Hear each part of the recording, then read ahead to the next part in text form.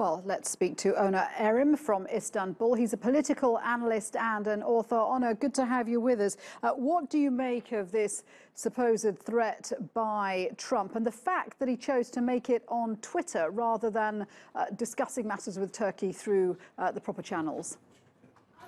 Well, good evening. Uh, the tone of his uh, tone of his voice, the uh, the words that he used, the fact that he did this over Twitter, I guess uh, demolishes all known rules of diplomacy, uh, and actually the way to talk between two partners, two allies, and two uh, quote unquote strategic partners. it is it's been devastating to all of us since early this morning in in Turkish hour. a lot of people didn't know really what to make of this. Uh, but to say the least, uh, it has, it's ungentlemanly-like, it's unalliedship-like, it's unfriendly, and to say the least, it's undiplomatic to have this tone to threat another country like this, let alone over social media. Yeah, and not just any old country. I mean, the, the US uh, is Turkey's ally in the fight against Daesh, and the two are strategic partners. The two are uh, NATO allies. So, just how seriously uh, should this situation be taken? Well, knowing Trump's track record, I don't know how seriously we should take this. We have been often uh, faced with Trump's uh, statements actually also his actions that he would do one thing today and he would do exact opposite tomorrow or in days to come. So it's you know it's to all of us it's it's really a wonder how seriously we should take Trump you know in general and in a in a crazy statement like this.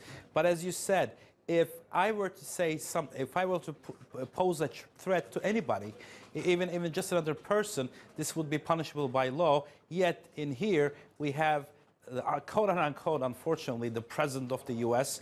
Uh, putting a straight threat out to another country, to an ally, to a strategic partner, saying that it would destroy it economically if so and so did not happen. Uh, it's, it's uh, you know, just, just by a street word, you know, one want to say, you know, who died and okay. made you the king of, of, of, this, of this area.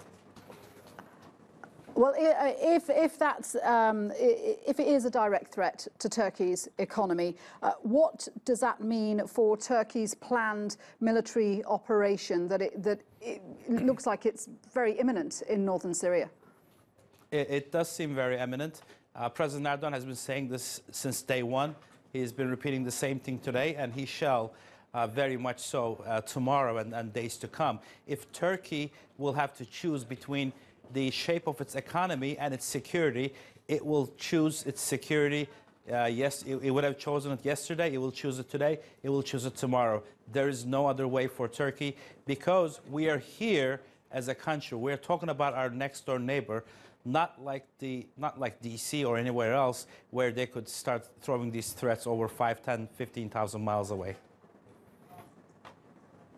Onur, good to speak with you. Thank you very much indeed for that. Onur Erim there in Istanbul.